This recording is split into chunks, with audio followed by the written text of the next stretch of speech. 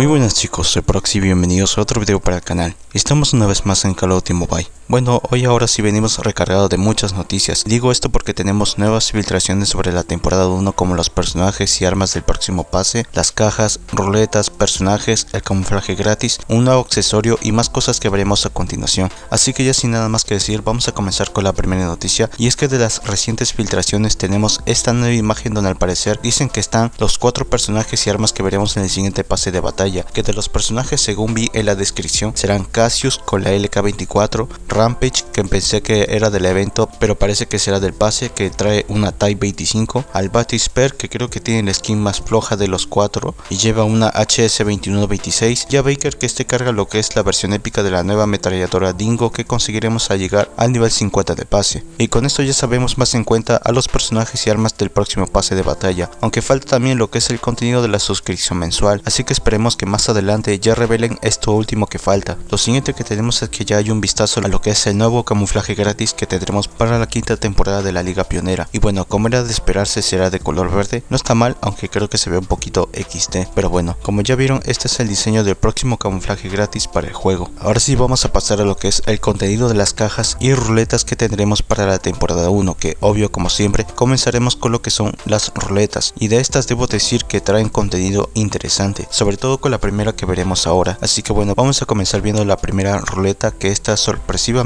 trae lo que es el personaje de Naga junto con una versión mítica de la DLQ33. Esto se ve algo raro ya que se supone que para la temporada 1 toca otro personaje legendario, pero parece que una vez más tendremos otra arma mítica sin tantas explicaciones. Pero bueno, la segunda ruleta que hay es de la Skyla con una M13 legendaria que son las que aparecieron en filtraciones anteriores y con esto parece que ya nos confirman que sí vendrán para la versión global en la temporada 1. Ahora en la tercera ruleta tenemos a un nuevo personaje femenino llamado Shadowfall que viene junto con una Mac 10 legendaria. En la cuarta ruleta tenemos a otro nuevo personaje llamado Tiangu, que este ya lo escuchamos anteriormente y que viene con una Ashba legendaria. Y por último tenemos esta quinta ruleta que esta al igual que la DLQ mítica es impresionante. Y es que tenemos una tremenda skin de la Sparrow que vino en la ruleta de la SKS legendaria y de la nueva ametralladora Dingo en su versión legendaria que también está brutal. Y ya lo otro que hay son las próximas nuevas cajas que hay unas 7 en total y como se ve también trae cosas interesantes, aunque claro que son de pago. Así que bueno, con esto ya vimos lo que son las cajas y ruletas que tendremos para la siguiente temporada. Y por cierto, cuando hablábamos de las ruletas se ha filtrado además este video donde nos anuncian que el próximo personaje legendario podría ser Nix que vino en la ruleta del Dragunov legendario. Y digo que tal vez porque si recuerdan también se filtró sobre que en los archivos del juego había otro personaje legendario que es Merry. Pero según dicen los dataminers, Nix será el próximo personaje legendario que veremos para la temporada 2. La verdad no sé cuál de los dos será el próximo legendario, por lo que mejor hablar hablaremos de eso aún más cuando salga la temporada 1. Además tenemos que una vez más van a meter otro nuevo accesorio para un arma para la cual vendrá a ser esta vez para el DLQ, que según dicen mediante la descripción y de este gameplay, el nuevo accesorio de esta arma es una especie de cargador omega la cual hace que al dispararle a los enemigos les cause una especie de conmoción cerebral que hace que se ralenticen por un corto periodo de tiempo. Esto me suena como una ventaja que hay en las armas y parece que esa junto con este próximo nuevo accesorio van a fastidiar mucho. Aparte acá tenemos una vez más un vistazo a otras cosas nuevas como la nueva ventaja del multijugador, el nuevo operador del Battle Royale y del estimulante que ese ya no tengo por qué mostrarlo porque ya lo vimos ayer y si no me equivoco creo que la ventaja vendrá mediante el pase y el operador mediante eventos. También tenemos lo que son los otros cambios de balances que sabía que aún faltaba algo por ver y ahí vemos lo que supuestamente son todas las armas que tendrán un balance para la siguiente temporada y por lo que se ve habrá solo bufeos y no nerfeos y de las armas están la KN44, la HBK30 la DRH, la M13, la Oden, la Arctic 50, la QQ9, la RU79, la Switchblade, la HS2126, la PKM, el SPR, el Revolver, la Renetic, la Shorty y la LK9. Por otra parte, hay que en la próxima actualización de la tienda de créditos van a meter lo que es una versión épica del cuchillo mariposa que bueno, no está mal pero por lo menos es gratis. También hay de que en el Battle Royale van a meter dos nuevas ubicaciones que estas vendrán a reemplazar a las zonas de Cockdown y campo de práctica por dos nuevas llamadas refinería T3 y laboratorio de ecología y probablemente en estas próximas nuevas zonas las vamos a interactuar mediante los nuevos eventos. Y ya para acabar acá tenemos a todos los personajes para la temporada 1 que saldrán tanto en pase de batalla, cajas, ruletas, eventos, etc. Y de estos hay unos 24 en total. Por ahora no sabemos cuáles de ellos vendrán gratis mediante el gran evento e inicio de sesión. Así que esperemos si dentro de unas horas o días ya muestren a los personajes gratis. Y bueno gente, eso es todo por el video de hoy. Como vimos, eso fue casi todo lo que tendremos para la temporada 1 de este año. Y digo casi porque creo que todavía falta mucho por ver, como por ejemplo el contenido de la suscripción mensual, los personajes del evento e inicio de sesión, la mecánica del evento y más cosas. Pero bueno, de seguro ya en los próximos días ya tendremos esto último de lo que falta, por lo que ya solo quedaría esperar a que llegue la nueva actualización y la temporada 1. Así que bueno gente, hasta aquí el video y si les gustó dejen un buen like, compartan si les agradó y sobre todo dejar su opinión en los comentarios. Bueno, sin nada más que decir, muchas gracias por verme y hasta la próxima.